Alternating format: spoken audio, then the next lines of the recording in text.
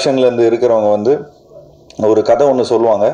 அது கதை ஒன்று லவ் ஸ்டோரியாக ஆரம்பித்து அது அப்புறம் அது வந்து ஒரு சைக்கோ லவ் ஸ்டோரி ஆகிடும் அந்த லெவலுக்குலாம் வந்து கதைலாம் மாறி இருக்குது ஸோ அது பிகாஸ் நிறைய படங்கள் வாரம் வாரம் ரிலீஸ் ஆகுது. ஸோ அதுலேருந்து வர சீன்ஸு ஸோ அந்த மாதிரி இருக்கிறதுனால எனக்கும் ஒரு சில ஒரு சரி ஏன்டா நம்ம கொஞ்சம் run of the mill film பண்ணக்கூடாது?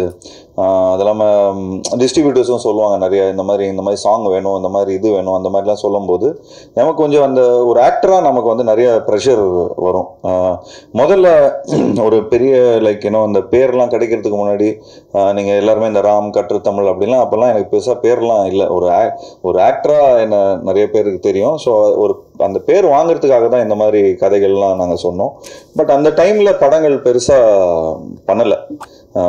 If you if you see Ram Ram வந்து மொத்தமாகவே வந்து அந்த தேட்டரில் ஒரு ரொம்ப கம்மியான அமௌண்ட் தான் சொன்னாங்க. ஸோ தேட்டருக்கெலாம் நான் போயிருக்கிறேன். போனோடனே போய் என்னடா ஆறரை மணி ஆயிடுச்சு. இன்னும் ஷோவை போடாமல் இருக்கிறீங்க இல்லை சார் ஷோ கேன்சல் ஆயிடுச்சு சார் அந்த லெவலுக்குலாம் வந்து கொஞ்சம் மொக்கெல்லாம் வாங்கியிருக்கிறோம். பட் அதுக்கப்புறம் அந்த தமிழ்நாடு தேட்டர்ஸ் ஃபுல்லாக ரவுண்ட்ஸ் எல்லாம் போனதுக்கப்புறம் சார் மக்களோட பல்ஸ் எல்லாம் புரிஞ்சுக்கிட்டு அதுக்கேற்ற மாதிரி படங்கள் பண்ணுங்கிறது தான் நிறைய கொஞ்சம் ஈ இந்த மாதிரி படங்கள்லாம் கோ அந்த மாதிரி படங்கள்லாம் பண்ண ஆரம்பித்தோம் பட் இப்போ சி ராம் கற்று தமிழ் அந்த மாதிரி படங்கள்லாம் யாரும் அந்த டைமில் யாரும் ப்ரொடியூஸ் பண்ண மாட்டாங்க. பட் இப்போ இருக்கிற டைமில் இப்போ ஈவன் பிளாக் பிளாக் மாதிரி ஒரு கதையை வந்து ஒரு ஒரு ஃபுல் இன்னிபிஷனோட ஒரு கம்ப்ளீட்டாக வந்து எல்லாருமே இதுக்கு அலைண்டாக இருந்து இந்த கதையை நம்ம பண்ணுவோம். அதாவது ஒரு கரெக்டான படமாக அதாவது ஆடியன்ஸை ஈகோ மசாஜ் பண்ணுற மாதிரி படம் இல்லாமல் ஒரு ஆடியன்ஸ்க்கு வந்து யோசிக்க வைக்கிற மாதிரி ஒரு படமாக இவங்க பண்ணியிருக்கிறாங்க.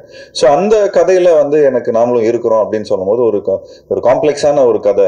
ஒரு காம்ப்ளெக்ஸான ஒரு கதையில் எவ்வளோக்கு எவ்வளோ சிம்பிளாக எங்களால் ஆக்ட் பண்ண முடியும் அப்படிங்கிறது தான் இந்த கதையில் நாங்கள் எல்லாரும் சேர்ந்து இங்கே இருக்கிற எல்லா ஆக்டர்ஸும் சேர்ந்து பண்ணியிருக்கிறோம்.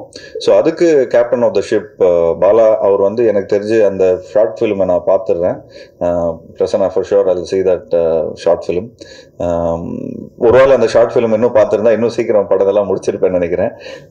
பட் உண்மையிலே இந்த மாதிரி ஒரு காம்ப்ளெக்ஸான ஒரு ஒரு ஒரு ஸ்கிரிப்டை வந்து ஹேண்டில் பண்ணுறதுக்கு ஒரு தனி மெச்சூரிட்டி வேணும். அண்ட் நிறைய இன்க்யூசிட்டிவ்னஸ் வேணும். அண்ட் அதே மாதிரி நிறைய பேஷன் இருக்கணும் ஃபிலிம் டுவர்ட்ஸில் சும்மா ஏதோ நம்ம வந்து இன்டெலிஜ் இன்டெலிஜென்ட்டாக இருக்கிறோம். ஆடியன்ஸையும் நம்ம இன்டெலிஜென்ட்டாக ஆக்குறோம் ஸோ நிச்சயமாக ஒரு கோயம்பேட்டில் ஒரு மூட்டை தூக்குறவங்களுக்கு வந்து ஒரு நூற்றி ரூபாய் நூற்றி நூற்றி one one two hundred rupees கொடுத்து ஒரு படம் பார்க்கணும்னா அவன் ஆயிரத்தெட்டு கேள்வி கேட்பாப்புல எதுக்குப்பா என்ன இவ்வளோ யோசிக்க வைக்கிறீங்கிற மாதிரி தான் இருக்கும். பட் இன்னைக்கு ஆடியன்ஸ் பார்த்துக்கிட்டிங்கன்னா நிறைய ரீல்ஸ் ரீல்ஸ் கண்ணா ஒன்று என்னென்னமோலாம் பார்த்துட்டு ஸோ இப்போ மைண்ட் வந்து பல இன்ஃபர்மேஷன்ஸோட இருக்குது ஸோ இந்த இன்ஃபர்மேஷன்ஸை